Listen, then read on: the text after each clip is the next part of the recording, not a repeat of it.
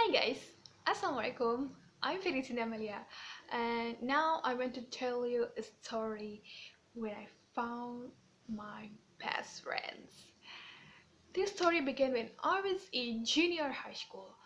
Uh, at the first day when I become a student of junior high school in uh, favorite school in my town, uh, I guess I will not have friends because I come from village and no one I know in this school. But suddenly a girl came up to me and uh, invited me to canteen together. I'm very happy because I think she's like me. No one she know in this school. Um, we are friends with good but everything will change when the second semester. I don't know why the reason suddenly she started to avoid me and prefer her new friends. I'm very disappointed and upset because after that she never say hello again to me. And okay, maybe she can't become my friend. I'm trying to uh, forget her.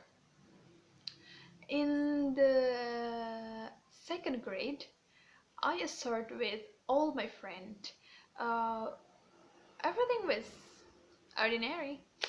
In the third grade, uh, I met my new friends again, and um, one of them is one of them named Anggun.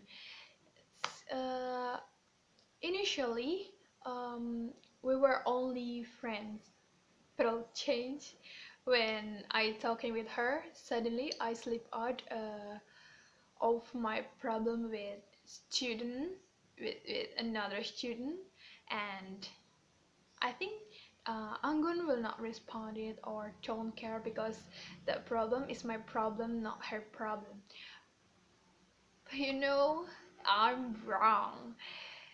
She gave me the best solution and told me that it's okay.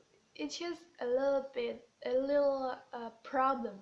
You can do it, and if you have, if you need uh, help or everything, just call me. I'll help you. Everything. Start for that. I close to her and I'm very shocked because she um, introduced me to other her friend uh, I mean other her best friend now becoming my best friends too. Um, yeah. At first um, um, I'm afraid because uh, I think they don't accept they don't accept me but oh, I'm wrong again. Yeah, they accept me and say welcome, say that we are we're a family and um, after that we are happy together, sad together, we care and I think all my uh, all the disappointment in the beginning uh, that I experienced um, paid off by uh, the arrived six friends. Okay, that's all my stories. Thanks for watching. Assalamualaikum.